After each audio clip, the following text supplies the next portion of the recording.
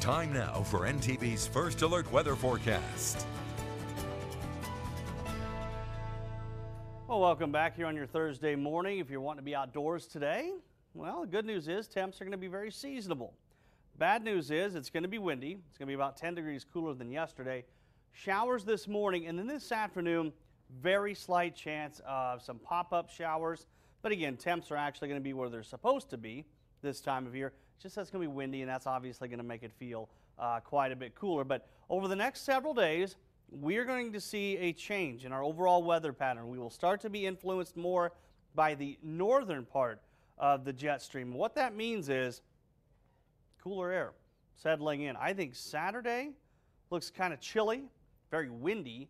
And then I think Tuesday of next week looks very chilly as well. Now, the main storm systems, they pass us by.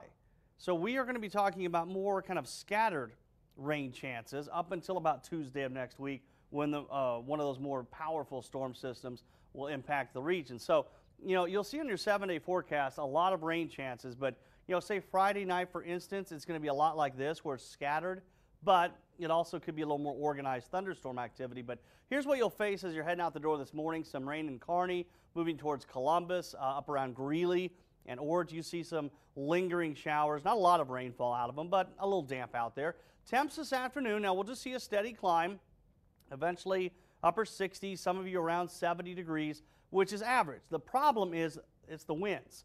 North, 15 to 25. Now, I think this particular model might actually be underdoing it. I wouldn't be shocked at gusts of over 30 uh, for much of the late morning, early afternoon hours. So once the showers end, it's going to be windy, uh, but seasonal. Now, here are those little pop-up showers that I mentioned.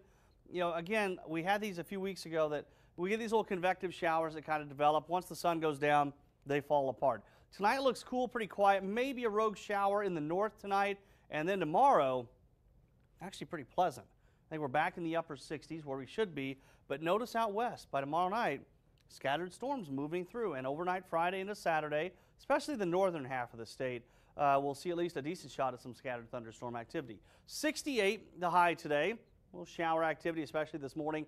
40 tonight, and tomorrow back up to 67. Not a bad end of the week. And again, those storm chances are mainly tomorrow night into very early Saturday morning. So across the state, northern Kansas, we're going to be looking at highs upper 60s today, maybe around 70, especially down south. But then after tomorrow, we trend into a much cooler weather pattern, and I mean way below average. Average high for the Tri Cities is about 66 to 67. After tomorrow, we won't be even close to that, um, especially there Tuesday. And it will not be out of the question that parts of the Cornhusker State, north northwest areas, see some of the dreaded S word on Tuesday. That will not be out of the question as the system rolls in.